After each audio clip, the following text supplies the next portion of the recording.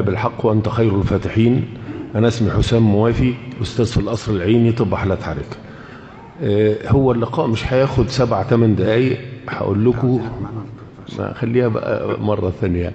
فهي كل الحكاية خمس ست سبع دقايق. اللي ما يقولش بعديهم سبحان الله يبقى جاحد. اللي يقول سبحان الله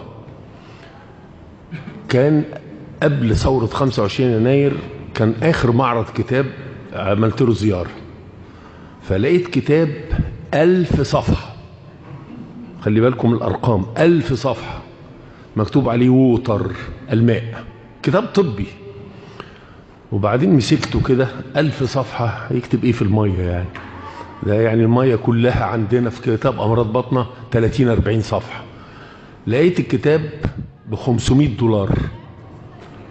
فقعدت متردد أشتري الكتاب ولا خسرت ال 500 دولار والآخر غلبتني الشهوة العلمية اشتريته. قعدت ثلاث شهور اقراه خلي بالكم الأرقام. قعدت ثلاث شهور اقراه الكتاب بيتكلم على إيه؟ دلوقتي أنا بشرب كوباية شاي. حطيت فيها ثلاث قوالب سكر. جه واحد بيغلس عليا راح حاطط لي مية على الشاي. جيت أدوقه مش عاجبني. ليه؟ لك ما فيش السكر طب هل أنا شلت السكر من الشاي ما حصلش. أنا زودت المية فالسكر باظ.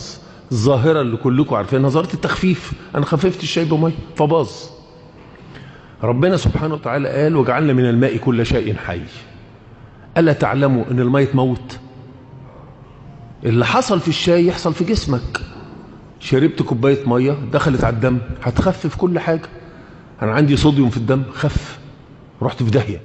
بوتاسيوم جلوكوز كالسيوم كل ده هيخف بكوبايه مية. الكتاب بيتكلم على إيه؟ على 16 طريقة إن الجسم لا يحتفظ بالماء. المخ فالقلب فالكبد فالكلى. أربع أعضاء في الجسم والله أعلم بعد شوية هيطلع فيه إيه تاني.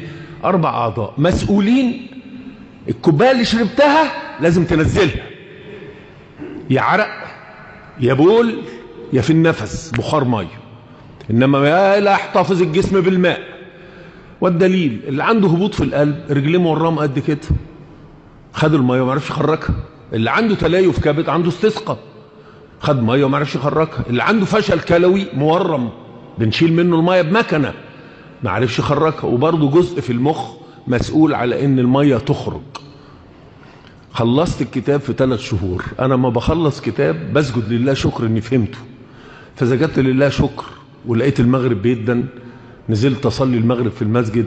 أقسم بالله العظيم لقيت الراجل الإمام اللي بيأمنا قال الكتاب كله في أربع كلمات. الكتاب كله. وأنزلنا من السماء ماء. فأسقيناكموه وما أنتم له بخازنين. الألف صفحة اللي الراجل بيتكلم عليها الخواجة في أربع كلمات في القرآن. فآمنت بالله إن القرآن ده صعب جدا. وسألت نفسي سؤال ليه الرسول عليه الصلاة والسلام بقى الرسول ما كانش يعرف تفسير القرآن؟